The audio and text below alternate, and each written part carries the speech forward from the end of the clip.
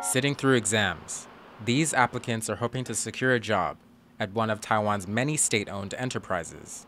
Companies like Taipower and CPC, the country's main petroleum company. 相对比较稳定，然后等于说人生后面就是固定好。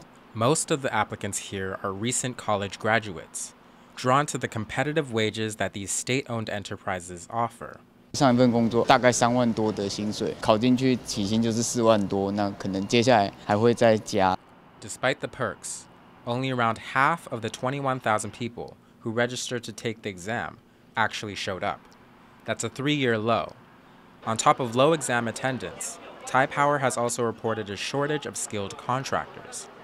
This has prompted the company to roll out a new initiative to train more migrant workers to make up for the looming manpower shortage. 语言上面大家要先沟通嘛。台电来讲，它确实是一个要专业技术的，那它必须要去考的证照，所以也会辅导他考证照。As the country faces a potential labor shortage in key sectors, companies like Taipower say they will do more to offer migrant workers and prospective employees above market wages and professional training in a bid to attract and retain needed talent. John Su and Wesley Lewis for TaiwanPlus.